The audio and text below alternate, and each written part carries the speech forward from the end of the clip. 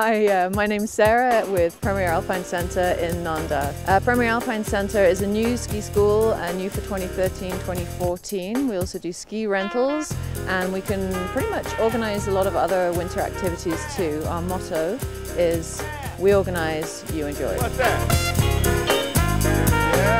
A good place to vacation um, because of the great access to the four valleys. We've got lift straight out of the village where your accommodation is and then it accesses uh, Verbier, Veysonnaz, Thyon. Uh, the best place to ski in Nendaz depends really on the weather and the snow conditions.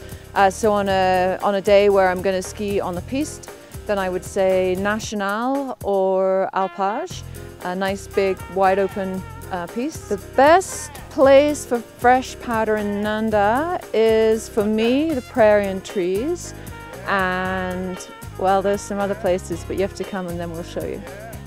Favorite après bar in Nendaz would have to be the Edelweiss. Uh, it's really close to town, they do a good happy hour price and uh, the staff is super friendly. Oh yeah, on uh, New Year's Eve there's a really good thing that, uh, that's really good to come and watch and that's the torchlight descent. All the ski instructors in town, the Premier Alpine Centre and the other ones, they all ski from the top of the mountain down to the village and they ski in formation with a torch and then everybody at the bottom of the village they do kind of the ski instructors put on a little show at the bottom and it's fun and there's also alpenhorn and uh, little nibbles and drinks and glühwein and Nendaz is an awesome place to be for spring skiing, um, largely because it gets so much sun.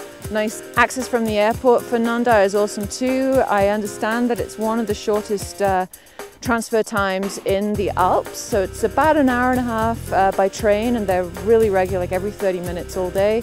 And then a short bus ride from uh, Sion.